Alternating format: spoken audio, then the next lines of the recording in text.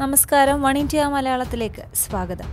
ശബരിമല സമരം പ്രധാനമന്ത്രി മോദിയുടെ കേരള സന്ദർശനം ബി ഡി ജി എസുമായുള്ള സീറ്റ് ധാരണ എന്നീ വിഷയങ്ങളിലൂന്നി ബി ജെ പി കോർ കമ്മിറ്റിയിൽ ചൂടേറിയ ചർച്ച. സെക്രട്ടേറിയറ്റിന് മുന്നിലെ ശബരിമല സമരം വേണ്ടത്ര വിജയിച്ചില്ലെന്ന് ആക്ഷേപമുയർന്നു. സംസ്ഥാന പ്രസിഡന്റ് പി എസ് ശ്രീധരൻപിള്ളയുടെ നിലപാടുകൾക്കെതിരെ വി മുരളീധരൻ പക്ഷം നിലപാടെടുത്തു. ശബരിമല സമരത്തിന് ശേഷം ഇതാദ്യമായാണ് കോർ കമ്മിറ്റി യോഗം നടക്കുന്നത്. നിരാഹാര സമരം അനാവശ്യമായിരുന്നു എന്ന് മുരളീധരനെ അനുകൂലിക്കുന്നവർ ചൂണ്ടിക്കാട്ടി. സമരം വേണ്ടത്ര ഫലം കാണാതെയാണ് അവസാനിപ്പിക്കേണ്ടി വന്നതെന്നും ആക്ഷേപമുണ്ടായി. എന്നാൽ വൻ വിജയമായിരുന്നുവെന്ന് പാർട്ടി അധ്യക്ഷൻ പി എസ് ശ്രീധരൻപിള്ളയും പി കെ കൃഷ്ണദാസും വാദിച്ചു. ഇതിലൂടെ പാർട്ടിക്ക് ബഹുജന പിന്തുണ വർദ്ധിച്ചു എന്നും ചൂണ്ടിക്കാട്ടി. സമരം കൊടുമ്പിരി കൊണ്ട് നിൽക്കെ സംസ്ഥാന പ്രസിഡന്റ് ശ്രീധരൻപിള്ള നടത്തിയ ചില പരാമർശങ്ങൾ അനൌചിത്യമായെന്നും വിമർശനമുണ്ടായി. ബി ഡി ജെ എസുമായുള്ള സഖ്യം സംബന്ധിച്ചും വിരുദ്ധ നിലപാടുകളുണ്ടായി. എട്ട് സീറ്റ് ചോദിച്ച ബി ഡി ജെ എസിന് നാല് സീറ്റുകൾ നൽകാനാണ് ധാരണയായത്. ആറ് സീറ്റുകൾ നൽകാമെന്ന ശ്രീധരൻപിള്ളയുടെ നിലപാടിനെ മറ്റുള്ളവർ തള്ളി.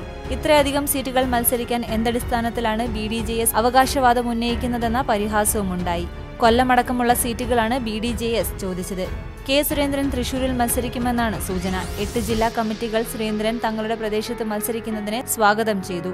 ടി പി സെൻകുമാർ സുരേഷ് ഗോപി എന്നിവർ സ്ഥാനാർത്ഥികളായേക്കും. കുമ്മനം രാജശേഖരനെ മത്സരിപ്പിക്കണമോ എന്ന കാര്യം ദേശീയ നേതൃത്വത്തിന് വിടും. സംസ്ഥാന പ്രസിഡന്റ് പി എസ് ശ്രീധരൻപിള്ള മത്സരിച്ചേക്കില്ല. തിരഞ്ഞെടുപ്പിൽ മത്സരിക്കാൻ ജനറൽ സെക്രട്ടറിമാർക്ക് തടസ്സമില്ലെന്ന് ശ്രീധരൻപിള്ള വ്യക്തമാക്കി. എൻ എസ് എസിന് കൂടി സ്വീകാര്യരായ രണ്ടുപേർ രംഗത്തുണ്ടാകുമെന്നറിയുന്നു. ഇന്ന് രാവിലെ സ്വകാര്യ ഹോട്ടലിൽ ആദ്യ കോർ കമ്മിറ്റി യോഗമാണ് നടന്നത്.